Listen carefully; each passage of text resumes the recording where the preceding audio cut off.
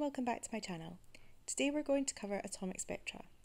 You can learn more about the structure of the atom and calculations involved in this using videos linked in the description box below. Today's video is going to look at the two different types of atomic spectra, atomic emission spectra and atomic absorption spectra. In this video we will look at how these spectra are obtained. First let's look at the structure of the atom. This is a simple Bohr model of an atom.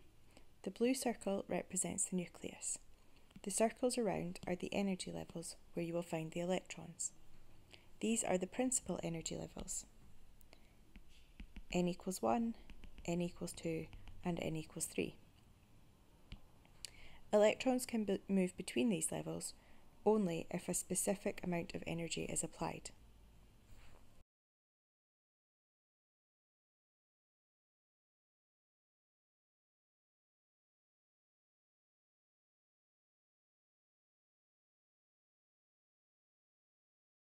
In an atomic emission spectra, a sample is heated in a flame.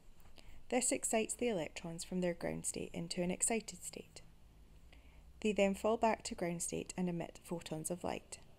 These photons of light can be gathered through a slit, and this can then be passed through a prism. Once the light has been passed through a prism, this will split up the different wavelengths, and we can see that we get a black background with coloured lines. Each of these coloured lines represents one transition of an electron falling back down to ground state. In atomic emission spectra, electrons are excited to higher energy levels by heat. They fall back down to ground state and release photons of light. The energy of these photons is equal to the difference between the levels. A line is seen on the spectrum for each wavelength of photon for each transition. The more intense the light emitted, the larger the sample is. In atomic absorption spectra, the sample is first atomized. Electromagnetic radiation is then applied to the sample.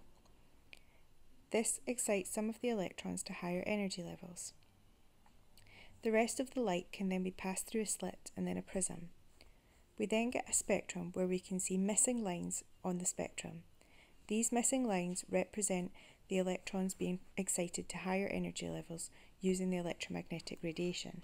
In atomic absorption spectra, the sample is atomized and electromagnetic radiation is applied. This excites electrons to higher energy levels by absorption of specific photons. Their wavelengths will be missing from a full spectrum. Specific wavelengths are absorbed which have energy equal to the difference between the levels. Thank you for watching my video. I hope that you found it helpful. Please remember to subscribe and ring the bell to be notified of new videos.